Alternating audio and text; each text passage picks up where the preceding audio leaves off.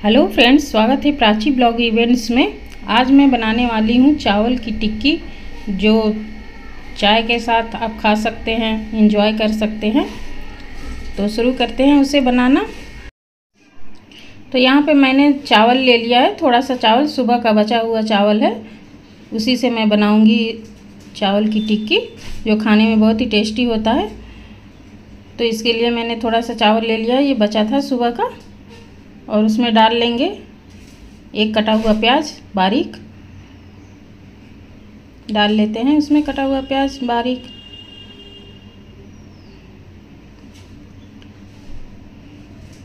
और डालेंगे उसमें कटा हुआ लहसुन।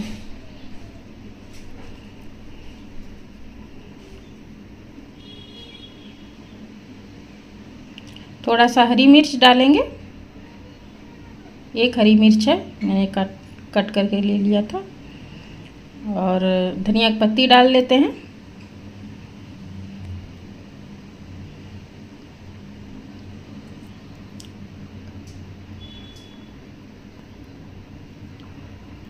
और थोड़ा सा अदरक, ये कद्दूकस किया हुआ अदरक है, इसे भी हम डालेंगे इसमें।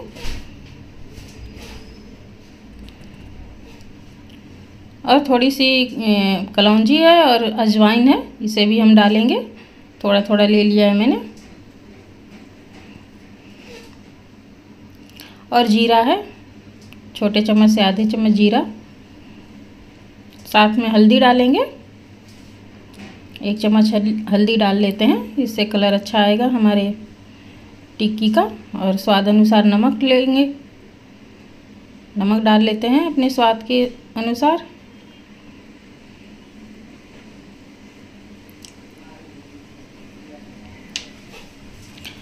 और चिली फ्लेक्स है ये। घर का कुटा हुआ चिली है तो उसे भी डाल लेंगे। साथ ही एक चुट्टी हींग डालेंगे। और ये चाट मसाला है, एक चम्मच। इसे भी हम डाल देते हैं इसमें। ये कॉर्नफ्लोर है, दो से तीन चम्मच इसमें कॉर्नफ्लोर, आरा रोट, जो भी आपके पास हो, इसे डालिए। बाइंडिंग में अच्छा रहता है बाइंडिंग करने में। और इसे मैश करते हुए अच्छा सा मिक्स करिए। ज़रूरत पड़ने पे थोड़ा सा पानी इसमें ले सकते हैं, पर बहुत ज़्यादा नहीं लीजिए। और ये मैंने इसे बढ़िया सा मैश कर लिया है।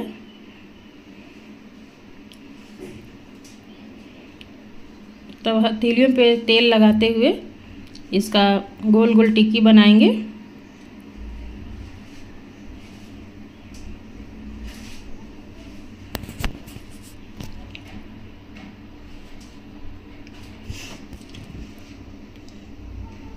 हल्का सा दबाते हुए टिक्की बना लेंगे।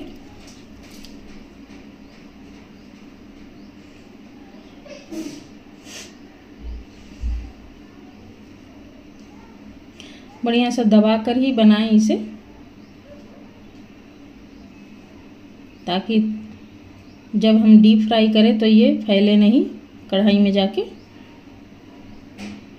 वैसे अरारोट डालने से ये फैलेगा नहीं, इसलिए दो से तीन चम्मच आप इसमें डालिए, जितना चावल है उसी हिसाब से इसमें डालने पड़ेंगे।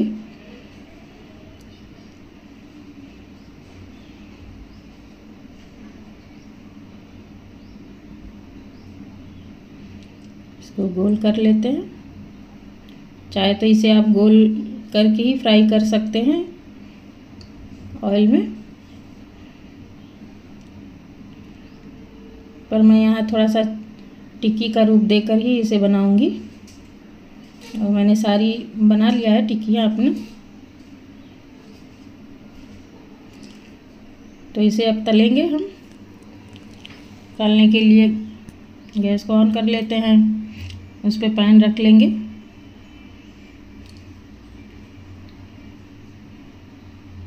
और उसमें अपने पसंद का ऑयल डालेंगे, जो आपको खाने में पसंद हो ऑयल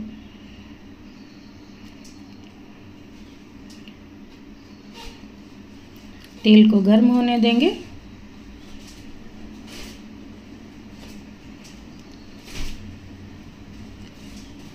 और जब तेल अच्छी तरह से गर्म हो जाए तो ही हम उसमें अपने टिक्की को डीप फ्राई करेंगे। फुल फ्लेम पे ही फ्राई करेंगे।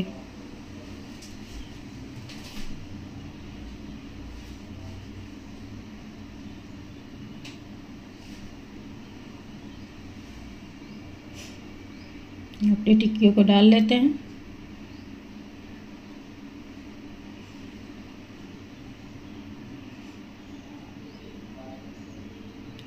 इसे उलट देते हैं। अच्छी तरह से गोल्डन ब्राउन हो जाने पे दोनों तरफ़ से सेक लेंगे।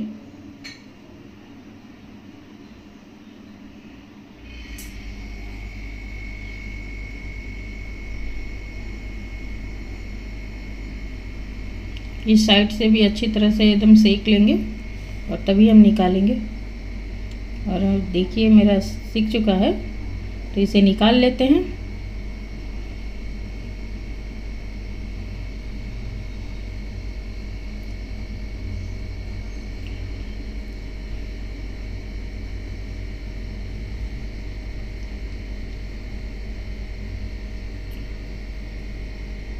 और अब दूसरा बैच भी हम इसे तल लेंगे।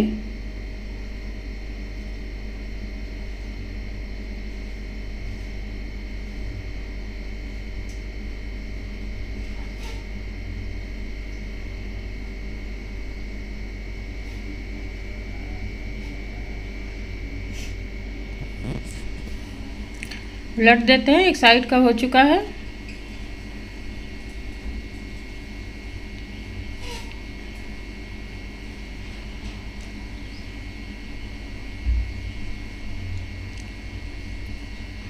इसे भी तल के हम निकाल लेंगे। और ये देखिए मेरा बन के टिक्की तैयार हो चुका है, जो खाने में बहुत ही टेस्टी और कुरकुरा लगता है, बहुत ही क्रिस्पी होता है। इसी तरह से आप भी बनाइए बचे हुए चावल का, और चाय और कॉफ़ी के साथ इसे एंजॉय करिए। मिलते हैं नेक्स्ट वीडियो में। अगर वीडियो पसंद आए तो इसे लाइक करिए। चैनल पर नए हैं तो सब्सक्राइब करिए। मिलते हैं नेक्स्ट वीडियो में। तब तक